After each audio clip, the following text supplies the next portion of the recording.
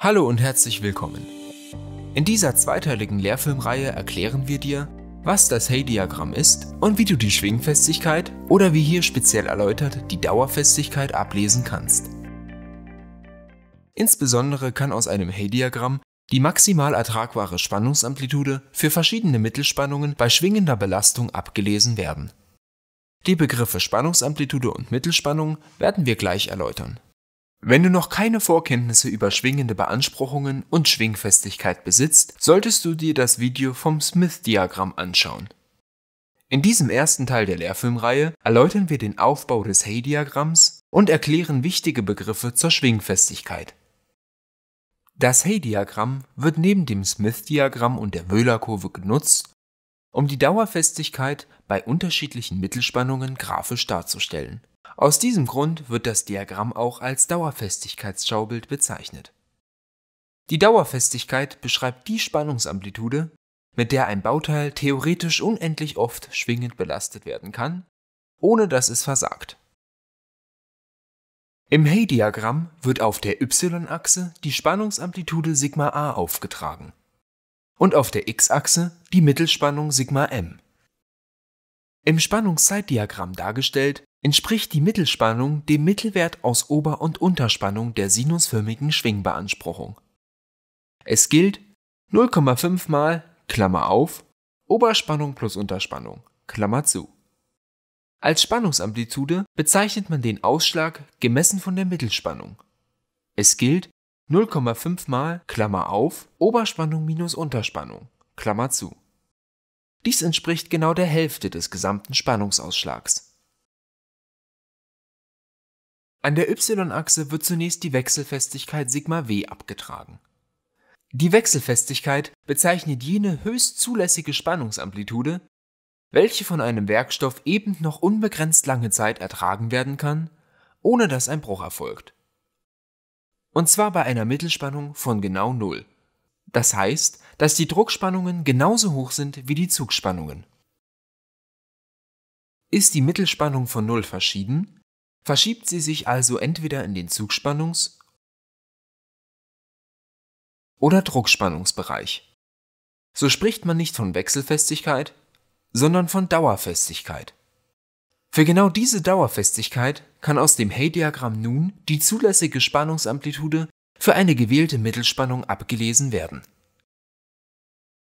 Denn für Mittelspannungen, die beispielsweise größer als 0 sind und damit im Zugbereich liegen, verringert sich die dauerfest ertragbare Spannungsamplitude. Also, die Wechselfestigkeit Sigma w wird an der y-Achse abgetragen, an der x-Achse wird die Zugfestigkeit Rm abgetragen. Dieser im Zugversuch ermittelte Festigkeitskennwert beschreibt die maximale mechanische Zugspannung, die ein Werkstoff bei axialer statischer Belastung erträgt, ohne einzuschnüren oder zu brechen. Durch diese Wechselfestigkeit und Zugfestigkeit verläuft die Hay-Kurve. Darunter liegen die dauernd ertragbaren Spannungsamplituden über der entsprechenden Mittelspannung. Zur Vereinfachung damit nicht für jede Mittelspannung die ertragbare Spannungsamplitude ermittelt werden muss, wird die Hay-Kurve oft einer Geraden angenähert, der sogenannten Goodman-Geraden. Die Gerade verbindet die Wechselfestigkeit Sigma w linear mit der Zugfestigkeit Rm. Die Goodman-Gerade lässt sich mit Hilfe folgender empirischer Formel berechnen. Wechselfestigkeit minus Wechselfestigkeit durch Zugfestigkeit mal Mittelspannung. Umgestellt zu Wechselfestigkeit mal Klammer auf 1 minus Mittelspannung durch Zugfestigkeit Klammer zu. Bei dieser einfachen Geradengleichung ist die Steigung der negative Quotient aus Wechselfestigkeit und Zugfestigkeit und der y-Achsenabschnitt entspricht der Wechselfestigkeit. Auf der Goodman-Geraden liegt dann die maximale dauerfest ertragbare Spannungsamplitude. Somit befindet sich unter der Geraden der Dauerfestigkeitsbereich. Zu beachten ist, dass die Goodman-Gerade ausschließlich für spröde Werkstoffe und Normalspannungen gilt. Für duktile Werkstoffe kann die dauernd ertragbare Spannungsamplitude für Normalspannungen durch eine Ellipse angenähert und mit Hilfe folgender Näherungsgleichung beschrieben werden.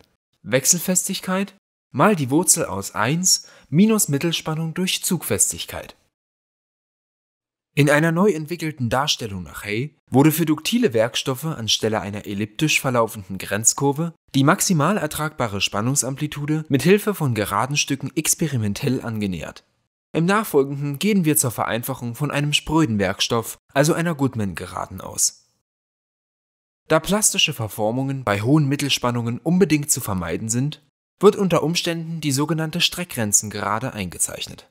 Zum Einzeichnen der Streckgrenzengerade wird die Streckgrenze jeweils auf der y - und auf der x-Achse markiert und diese beiden Werte dann durch eine Gerade verbunden. Die Streckgrenze Re ist der im Zugversuch ermittelte Werkstoffkennwert, bei dem bei Überschreitung eine irreversible plastische Formänderung auftritt. Man spricht hier vom Fließen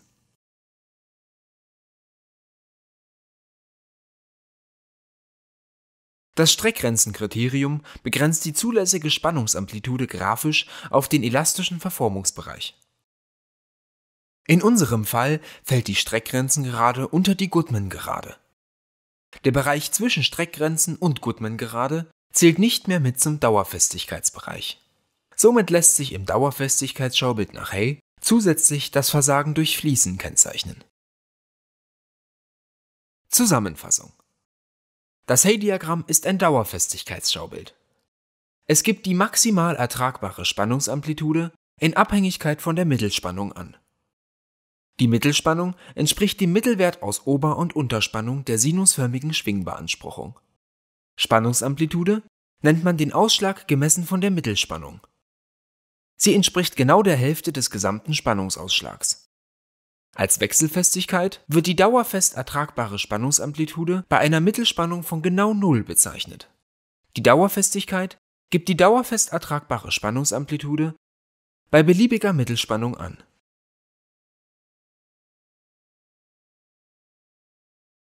Die Spannungsamplitude Sigma a wird auf der y-Achse und die Mittelspannung Sigma m auf der x-Achse aufgetragen. Danach wird die Wechselfestigkeit Sigma w auf der y-Achse und die Zugfestigkeit Rm auf der x-Achse abgetragen.